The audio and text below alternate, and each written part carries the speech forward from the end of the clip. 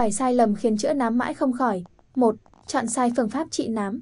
Có 4 phương pháp trị nám là kem trị nám, thuốc uống trị nám, tiêu da trị nám và laser trị nám hoặc kết hợp nhiều phương pháp cùng lúc. Hãy chọn cho mình một phương pháp phù hợp. 2. Không bôi kem chống nắng. Dù bạn có dùng phương pháp trị nám tốt đến đâu mà không bảo vệ da khỏi ánh nắng mặt trời thì chỉ khiến nám sẽ càng trầm trọng hơn mà thôi. 3. Không dưỡng ẩm cho da. Làn da khô có tốc độ lão hóa nhanh gấp nhiều lần so với các loại da khác. Bạn cũng không thể thay da, kích thích tế bào da mới phát triển ở một làn da dần sùi, bong chóc. Lúc này, thời gian điều trị nám buộc phải kéo dài hơn. Vì vậy, bạn nên bổ sung tinh chất cấp ẩm song song với quá trình trị nám để duy trì độ ẩm cần thiết cho làn da mềm mại, mịn màng. 4.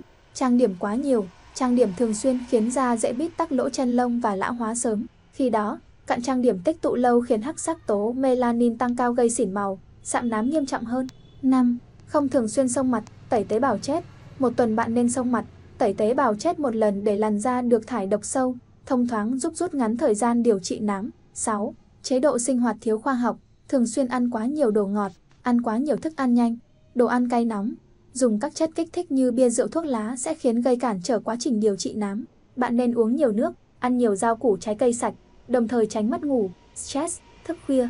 7. Không kiên trì, điều trị nám da không thể nóng vội, bởi điều trị nám da có thể rất chậm có hiệu quả, do đó đòi hỏi phải kiên trì, bắt đầu nhẹ nhàng, đặc biệt là nếu bạn có làn da nhạy cảm.